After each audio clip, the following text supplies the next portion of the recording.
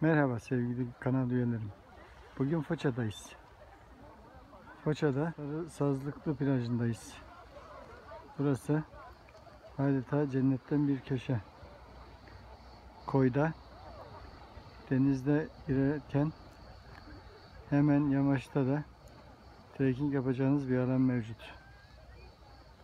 Burada plaj, denizde girerken plajda eee, sol tarafta deniz kestaneleri var. Onlara dikkat edin. Yoksa ayağınızı ısırabilir, batabilir ayağınıza.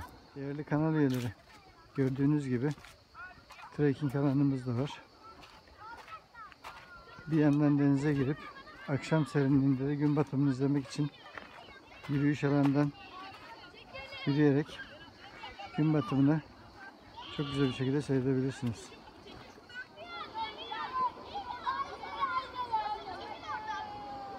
Saat 20.30'a gelmesine rağmen vatandaşlar denizden bir türlü çıkmak bilmiyor.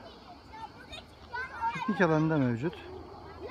Günübirlik gelip piknik de yapabilirsiniz. Sazlıklı plajı mükemmel bir yer. Yalnız arkadaşlar trekking yapıp yürüyüşe daldığınızda dikkat edin. 20-30'u geçirmeyin.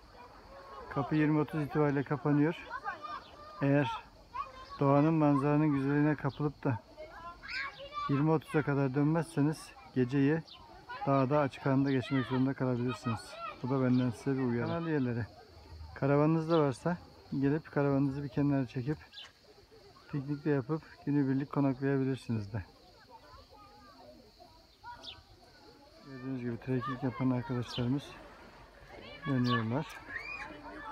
Buradan böyle kayalar var. Deniz var. Gayet güzel. Mis mis mis.